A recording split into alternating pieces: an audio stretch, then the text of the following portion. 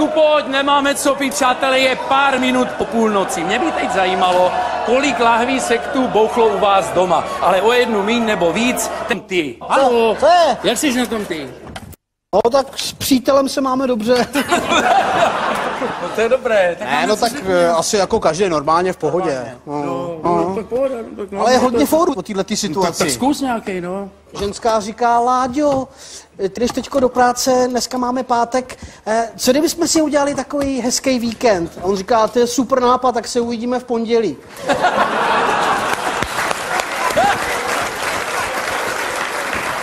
Pán sedí na baru a tam sedí taková dámička s drdůlkem, kabelku na klíně a dělá na něj.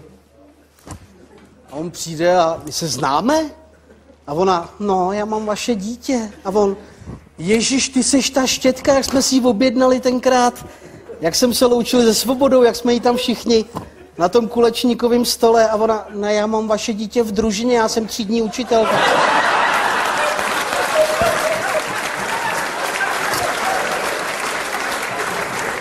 Paní říká, "O, Láďo, víš, jak jsi říkal, že si k výročí můžu koupit, co chci? A on říká, jasně, co chceš? Tak já bych chtěla něco, co udělá z nuly na sto za tři vteřiny. A on, no, tak já ti koupím váhu. vole."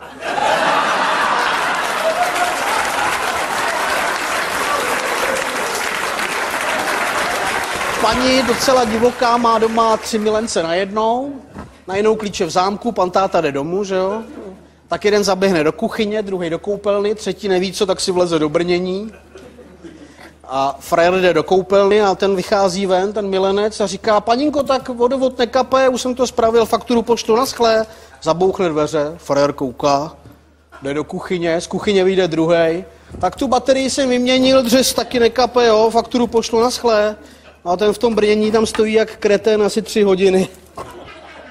A když už ho to nebaví, tak říká, prosím vás, jdu dobře na Karlštejn.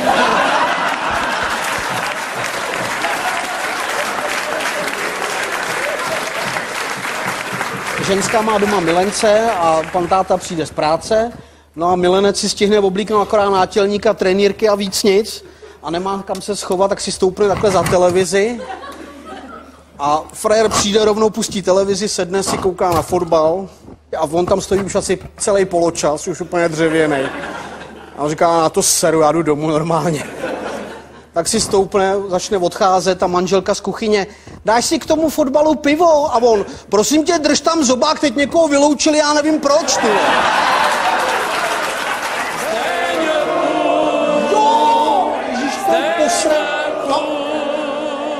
Už jdu. Rychle se ani ten, ještě proseru nový rok.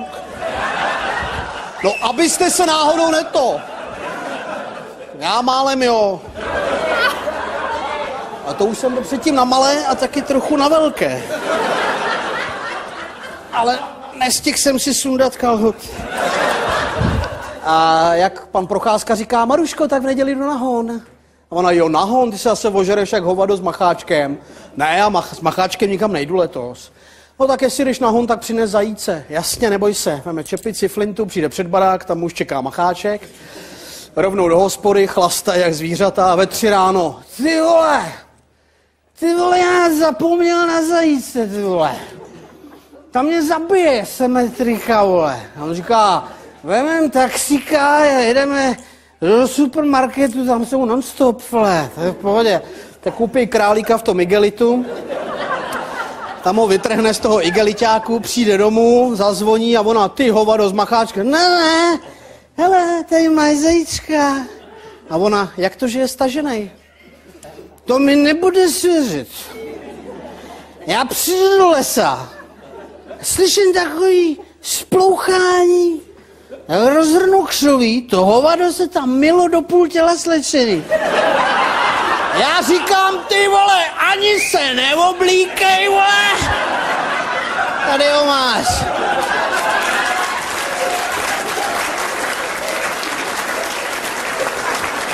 A jak eh, se potkají dva hluchoněmí myslivci, a jeden říká ahoj, a on kau, kau.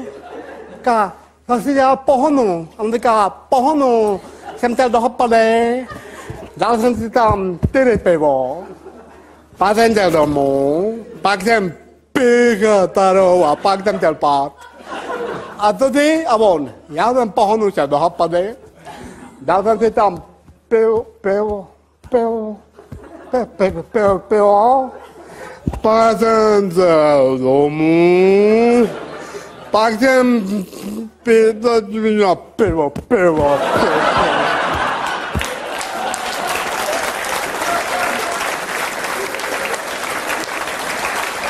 Myslivec si dá v hospodě karbanátky a teďko jí a najednou vyndá si takhle dlouhý chlup a říká, prosím vás, pane vrchní, jak se takovýhle chlup dostal do karbanátku? A on říká, víte co, máme kuchaře, on je teda hrozně šikovný, jo, ale on nemá jednu ruku a on tou jednou rukou ty karbanátky jako nevytvaruje. Tak on si pomáhá pod paždí a on, ty vole, to si děláte prdel, ne? A on ne, tak on má zdravotní průkaz, teda buďte rád, že jste si nedal plněný papriky.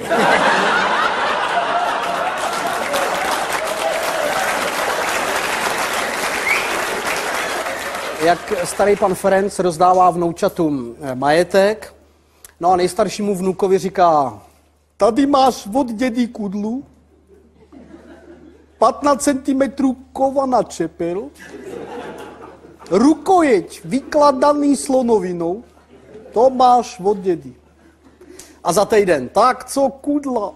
On říká, dědo, já ji vyměnil. Za co, Dilino? Za Rolexky. A on, co? No za Rolexky to nemá nikdo, ty debile. Teď půjdeš do hospodíva a někdo řekne, že jsi nějaký ty vole debilní kreten, vole, tak co mu uděláš, vole, čtvrt na tři, vole, nebo co?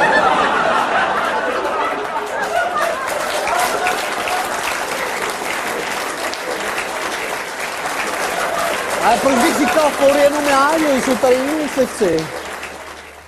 Starý a mladý zajíc, otec a syn Chutě sobě hopkají po lese, dohopkají na kraj lesa a tu na pasece pase se šest krásných ramlic. Mladý zajíc vyskočí za dupe, vycešní bakla a křičí, fotr, já bych tam vlít a jednou bych voramloval. On mu dá přes ty slecháš se natáhne a povídá, to je ta mladická nerozvážnost. On by tam vlít a jednou by voramloval. Nikoli, synku, půjdeme pomalu a voramlujeme všechny.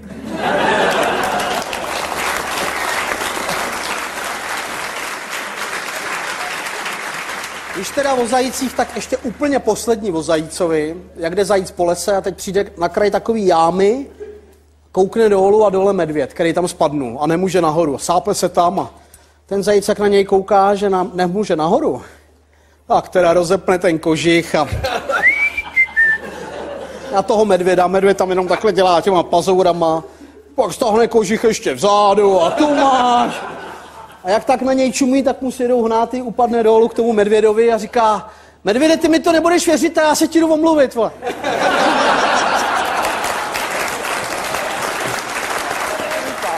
To, Na co?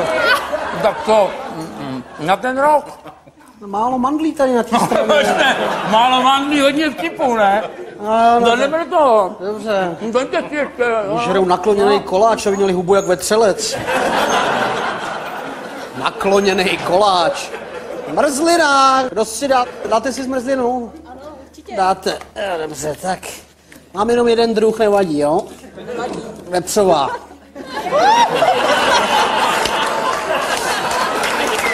tak. Prosím. Eh, protože tady byly nějaký písničky o blondýnách a nebyly tady fóry o blondýnách a je jich hodně. Já znám jenom dva, ale dobrý. Bruneta se ptá blondýny, říká, hele, ty seš pravá blondýna? Jak jako?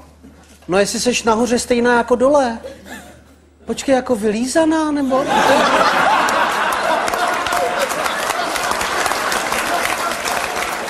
Blondýna jde poprvé v životě hrát golf, tak veme tu hůl, postaví tam ten míček. Takhle si to drží, jo, takhle. Tak počkej, já to zkusím. Prásk. A teď si všimne o 20 metrů vedle chlap, jak se chytne v klíně a spadne na zem a ona, Ježíš Maria, nezlobte se, já jsem tady poprvé, ale já jsem lékařka, ukažte. Rozepne mu kalhoty a začne mu drandit Karla a říká, už to nebolí. On říká, a tohle je dobrý, ale ty ten palec, já se snad poseru bolestí.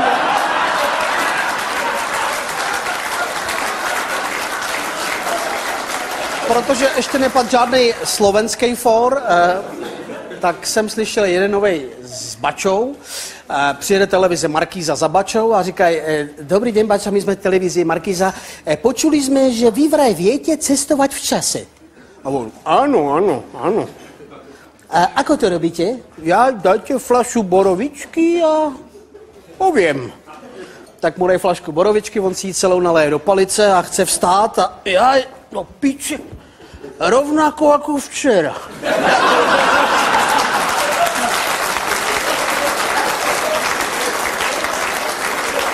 Rodinka z Prahy s dětma jede za dědečkem do Ostravy a čtyřletá vnučka skočí dědovi kolem krku a říká, dědo, já tě tak ráda vidím.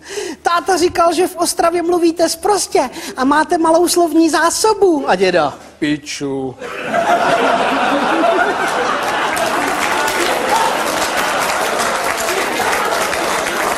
Blondýna koukne na hodinky, protože odjíždí na dovolenou a říká, sakra, mám ještě hodinu čas a tady vedle já tam skočím na tu gindu radši. Tak jde na ginekologii, vleze do té čekárny, úplně prázdná čekárna, říká, to je super, to jsem tady nezažila. Čukne na dveře, otevře tam frér v bílém. Dobrý den, hleďte, já jedu za hodinu do Bibione. Tak kdybyste mi na ní kouk, co jí říkáte? Frér stojí a... Tak jako... Z mýho pohledu dobrý, no otázka, co doktor, já tady maluju.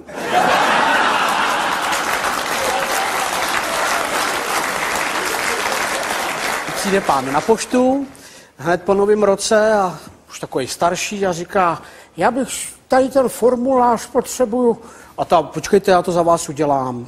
Ten rok nám začne hezky zvesela, tak eh, já to vyplním za vás. Takže jméno a on, papa, papa, Pavel, no, no, no, Novák. Ona, aha, vy zadrháváte.